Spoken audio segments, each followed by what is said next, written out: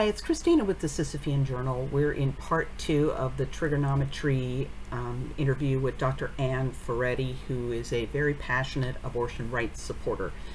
Um, and this next section is entitled Abortion is a Personal Decision, Not a Feminist Issue. So this is short, so let's see what she has to say and what Constantine and Francis have to say. People think that abortion is it's some kind of an identity issue. It's like a feminist issue um, that is about how women define who they are. I wonder if she watches uh, Twitter at all or is familiar with the Shout Your Abortion movement. Um, uh, there are women who, for them, abortion is something they're proud to have done. And I don't think that that's right at all. I think that you know. Now, I don't think that's the normal woman climbing on the abortion table, but I think she's ignoring the existence of women for whom abortion is a defining act, proving it's as though aborting proves to the world they the woman's internal value. I think most women climbing on the abortion table aren't that way. They're just like, holy shit, I'm in this situation. I want to get out of it. But yeah, there are women for whom they're they're doing this to prove who they are. Nobody wants to identify as a woman who has had an abortion. Again, she clearly has never seen the Shout Your Abortion movement or is ignoring it. Um, you don't support a woman's right. You don't. You don't exercise your right to abortion. Let's put it like this: you don't exercise that right like you exercise your right to vote. You know, oh, I'm a woman, abortion's legal. I think I'll have one of those. That's not, you know, that is never the way it works. On an individual level, abortion is the solution to a particular problem. You have.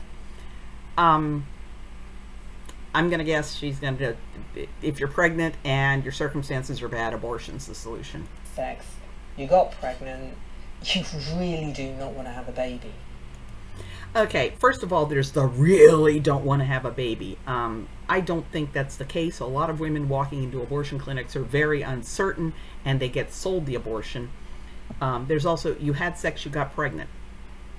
You knew when you chose to have sex that you might create a human being and then you kill that human being for being there when you put them in that situation. Um, you know, what would you think if um, some business owned a parking garage and they decided that they were going to demolish the parking garage, but um, in the meantime, they let a homeless encampment settle into this parking garage. Um, I don't think you'd say that they have the right to demolish that parking garage without first making sure that all the homeless people are out of the parking garage. And you might even say, that they have a duty to announce in advance this parking garage is going to be demolished. You don't want to be in it.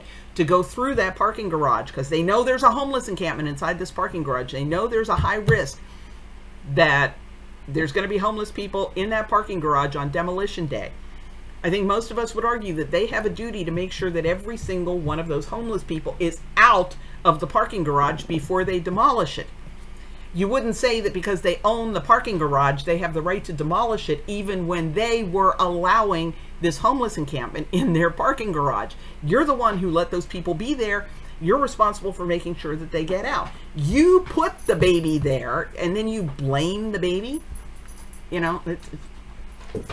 but you know, it it's got such a kind of political ramifications, moral ramifications for the people that the whole thing becomes, you know, a real mess. And my sense is, you know, can we please leave people to make these deeply intimate decisions for themselves?